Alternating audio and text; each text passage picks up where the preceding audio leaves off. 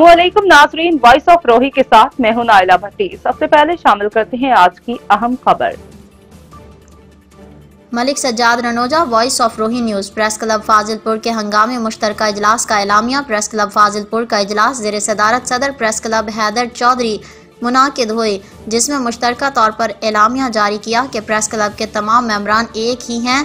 एलामिया में information secretary Asim Chaudhary पर gun point पर डकैती करके शदीद जख्मी करने और उन्हें मुलजमान की तरफ़ से member press club Shahzad Madani को भी संगीन नतज की धमकियाँ देने की शदीद अल्फाज में मजम्मत की गई और उन मुलजमान को कैफर किरदार पर पहुँचाने के लिए हर फोरम पर जाने और उनके खिलाफ यकजा होने का ऐलान किया गया और इन मुलजमान के खिलाफ कानूनी कार्रवाई में सब यकजा होंगे।